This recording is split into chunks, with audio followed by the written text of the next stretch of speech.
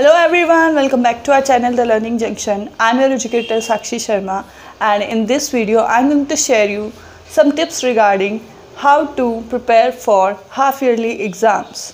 As the September is approaching, so are half yearly exams in most of the schools. Am I right?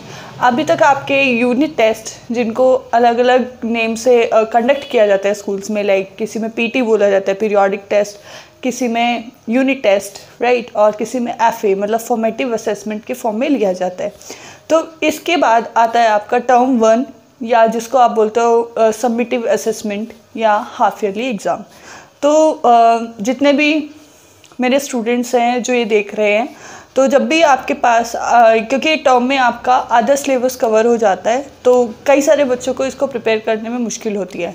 जो लोग tuition पे जाते हैं या जिनको कोई हेल्प कराने वाला मिलता है तो उनके लिए सिलेबस कवर करना इजी हो जाता है बिकॉज़ उनके पास थोड़ा सुपरविजन रहता है।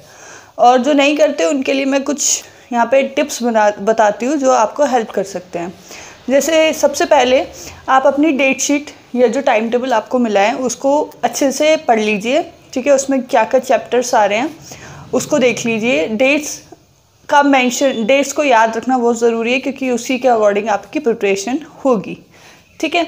नेक्स्ट जो भी आपके टीचर ने रिवीजन वर्कशीट्स दी हैं, या जो भी आपके एफ़ ए में एफ़ ए वन या एफ़ ए टू में आया है, ज़्यादातर उसी में से आता है। तो वो जो क्वेश्चंस आपके करवाए गए हैं, आप उनको रिपीट कीजिए।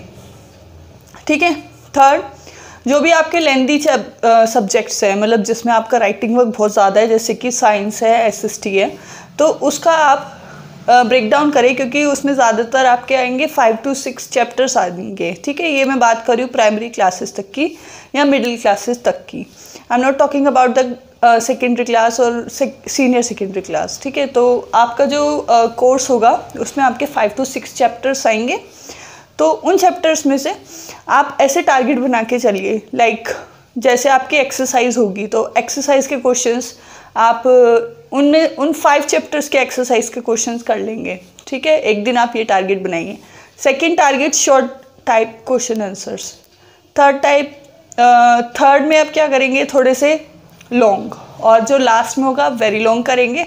उसके बाद, जो भी आपकी मैम ने वर्कशीट्स कराए हैं, जो क्लास टेस्ट में क्वेश्चंस दिए हैं, उनको आप अच्छे से मेमोराइज करके जाइए, क्योंकि ज़्यादातर चांसेस उसी में से आते हैं। और साइंस और एस के लिए आपको डायग्राम की प्रैक्टिस भी करनी चाहिए।